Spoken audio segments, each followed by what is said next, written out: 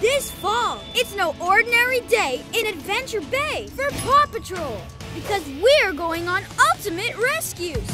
Ultimate rescues need new, huge, ultimate vehicles. We've got to go higher, faster, and further for the biggest rescues ever. Pups, Chickaletta needs us. Hurry, Marshall. Hop into your ultimate fire truck. Come on, team. An ultimate rescue needs all six pups. Chickaletta.